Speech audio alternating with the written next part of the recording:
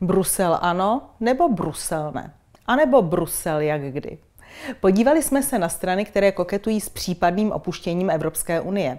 A zjistili jsme, že spíš lavírují, než aby před volbami řekli naprosto jasně, jak to s unii myslí. Patrně se více řídí momentálními průzkumy.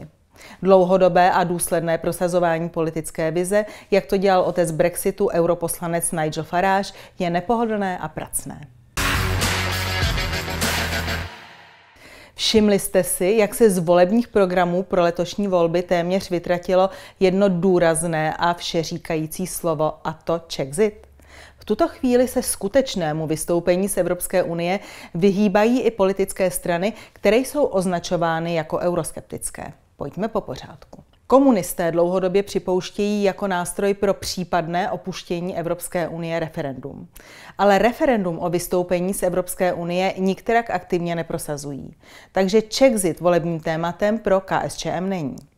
To SPD Tomia Okamury referendum o vystoupení z Evropské unie dlouhodobě aktivně prosazuje. Volební program pro letošní volby ale ještě SPD nezveřejnila. Zveřejnila pouze priority ve volebních novinách. A ty opět slovo Czexit ani odchod z Evropské unie neobsahují. Obsahují pouze referendum o vystoupení z Evropské unie. A do třetice. Hádejte, kdo zcela vyměkl, pokud jde o případný odchod z Evropské unie? Správně. Je to trikolora, svobodní a soukromníci. Ti jen opatrně tvrdí, že Evropská unie je plná chyb a setrvání v Evropské unii jsou připraveni zvážit až v krajním případě. Ovšem, pokud se proto občané rozhodnou v referendu. Takže nakonec jediná strana, která jde do voleb se sdělením Vystupme z Evropské unie, je volný blok. Ten jasně píše, jsme přesvědčeni, že Evropská unie je nereformovatelná a že nastal čas ji svobodně opustit. Sečteno a potrženo. Odejít z EU chce pouze flákanec volný blok. Ostatní strany se patrně zalekly průzkumů veřejného mínění, podle kterých Češi vidí budoucnost v Evropské unii růžověji než ostatní země a dali by Bruselu více pravomocí. A pokud se z průzkumu Evropské komise lavírující politické strany dozvědí, že Evropské unii důvěřují občané více než vládě a parlamentu České republiky, slovo Czexit se bojí byť jen zašeptat. Kdo tedy určuje politickou fantazii a odvahu? Osobnosti s pevnými názory a hodnotovým kompasem nebo korouhvičky zmítané větrem z Bruselu? Pokud jde o vystoupení ze Severoatlantické aliance, tak to dlouhodobě požadují komunisté. Ti chtějí dokonce na to zrušit. Naopak trikolora, svobodní a soukromníci chtějí vystupovat výlučně v souladu se zněním Severoatlantické smlouvy. Postoj SPD není zcela jasný. Před měsícem byla na to podle SPD mrtvá organizace. Iniciovat referendum o opuštění Severoatlantické aliance však strana nechce. Hm, proč by měla? Podle průzkumu zadaného ministerstvem obrany nás přece na to chrání.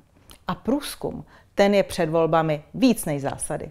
Takže vystoupení ze Severoatlantické aliance má v letošním programu jen KSČM a Volný blok.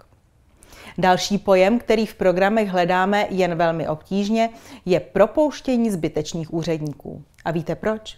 Úředník je přece také volič. A hlavně na úřadech pracuje mnoho bývalých straníků a je tam také nutné zaměstnat politiky, kteří neuspějí ve volbách.